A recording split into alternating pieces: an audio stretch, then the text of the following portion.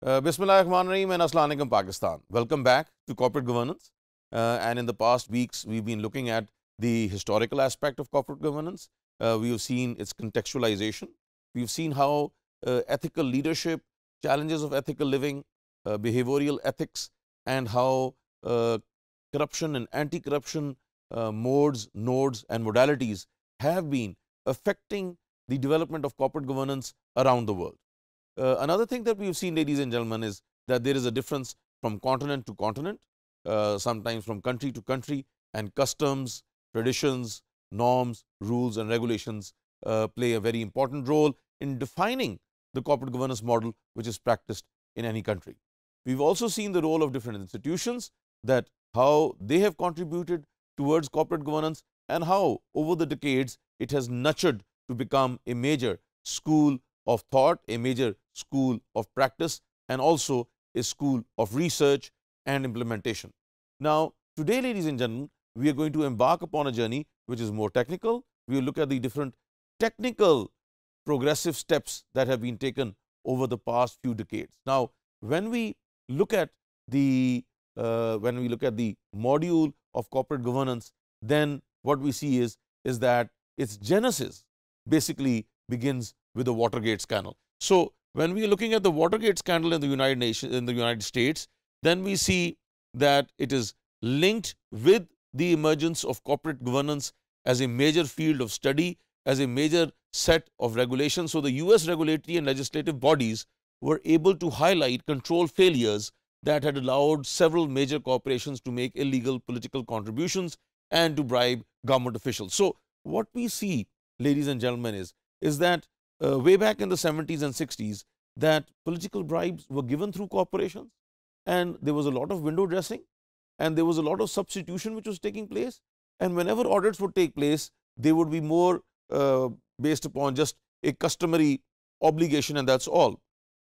And the real nuances uh, of uh, the, the funds and the funding and also the idiosyncrasies involved in the financial aspects of the company would not emerge. But the Watergate scandal basically uh, was a watershed actually of uh, moving towards corporate governance and ensuring that corporations are made accountable and the Securities and Exchange Commissions and regulatory bodies they become more powerful and also could regulate the companies in the right direction to basically ensure and protect the rights of the shareholder and the stakeholders. So, that is a very, very important aspect.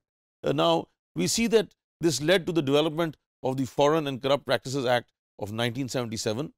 The Corrupt Practices Act of 1977 contained specific provisions regarding the establishment and maintenance of internal controls and this was followed in 1979 by the Securities and Exchange Commission proposal for mandatory reporting on internal financial control. So, what we see ladies and gentlemen is this emergence of a new law which basically was an overarching law which looked at foreign interference, which looked at corrupt practices and again how different organizations were uh, sidelining the legal system and benefiting uh, illegally on, uh, with a biased approach through a discriminatory approach the different corporations and the different political parties. So, this is something which was considered to be a major way forward in the context of law. And then we see that in 1985 the Treadway Commission was formed.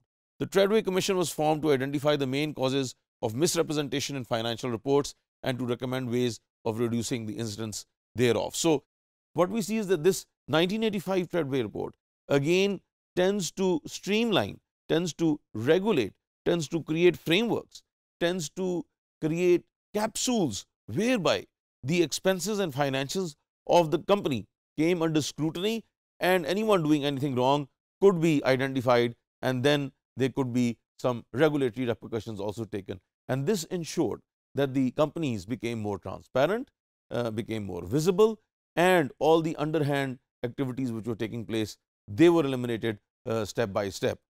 Uh, what we see is that the Treadway report was published in 1987. It highlighted the need for proper control of the environment like I was talking about, the independent audit committees and an objective internal audit function and called for published reports on the effectiveness of internal control. So, what we see is, is that the environment of secrecy was replaced with an environment of openness and whatever financial audit would be doing, it would eventually be published as a report so that everyone would have access to how the organization was working and what were its different idiosyncrasies and what were its different factors which either led to profits or would be leading to uh, losses. The commission uh, also requested the sponsoring organizations to develop an integrated set of internal control criteria to enable companies to improve their control. So, again this Treadway Commission uh, came up with this recommended report that how companies could function in a better way, what type of internal control mechanisms should be over there, how they should be monitored, evaluated and regulated and most importantly how companies could improve controls to optimize their profitability, to maximize their sales and to ensure that the different stakeholders and shareholders rights were basically being protected. So, again we see that these legal uh, frameworks came into existence, these different uh, legal models were implemented and in some countries they were country specific while in others hai, they uh, were more generalized and followed around the world. So, these new developments which emerged basically propelled uh, corporate governance into the limelight and based upon that corporations and companies and legal entities started following the different stipulations of the corporate governance regimens which were either prevalent uh, in their own country or available on a regional or global level. So, thank you so much everyone very kind of you.